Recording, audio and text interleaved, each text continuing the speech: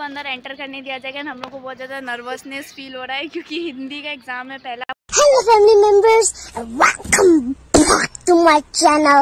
So guys finally आज से मेरा बोर्ड एग्ज़ाम स्टार्ट हो रहा है। पहला exam as you all know Hindi है हिंदी इलेक्टिव मेरा एग्ज़ाम है। तो सुबह सुबह खुद के हाथों से दही खा लिया क्योंकि मम्मी रेडी हो रही थी एंड हमें हो रहा था लेट सो गाइज़ हम लोग ने टोटो ले लिया था एंड सेंटर जाते वक्त मुझे दो टोटो चेंज करना पड़ता था।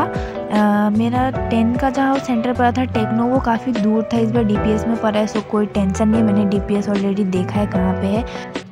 फाइनली हम लोग पहुँच गए हैं एंड वहाँ पे मेरा काफ़ी सारा फ्रेंड्स भी मिले और हम लोग यहाँ पे भी अंदर जा रहे हैं। स्कूल के अंदर का व्यू है ग्राउंड को अंदर एंटर करने दिया जाएगा हम लोग को बहुत ज़्यादा नर्वसनेस फील हो रहा है क्योंकि हिंदी का एग्ज़ाम है पहला बहुत लिखना पड़ता है।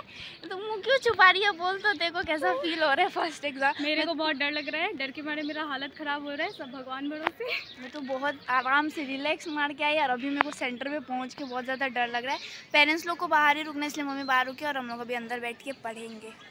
एंड गाइस हम लोग का ग्राउंड में रोल नंबर लिखा हुआ था बोर्ड पे किसको कहाँ बैठने में रूम नंबर टू में सो so गाइज़ मैंने ज़्यादा वीडियो शूट नहीं किया क्योंकि आप सबको पता है, अंदर फ़ोन अलाउ नहीं होता। तो जहाँ तक हो सका मैंने वीडियो शूट किया। एंड बाहर अभी हम लोग का छुट्टी हो गया।